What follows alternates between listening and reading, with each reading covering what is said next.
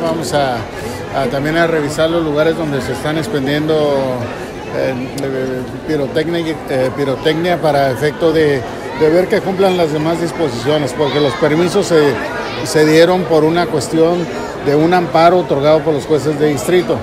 Entonces nosotros vamos a vigilar todos los más aspectos para efecto de que no haya peligro y para también ir acortando el uso de la pirotecnia. Ya se han detectado varios lugares, se han sancionado, en los que no tienen permiso se les han decomisado el producto. Los uh, amparos que se dieron en Tijuana fueron más de 20 eh, y estamos revisando todos los lugares donde se están expediendo este tipo de mercancías. No se trata de fastidiar al ciudadano, nomás simplemente que comprendan que este tipo de, situaciones afecta a las personas mayores, afecta a personas que tienen alguna discapacidad, afecta a mascotas y, pues bueno, ya se prohibieron el uso de ellos en Tijuana.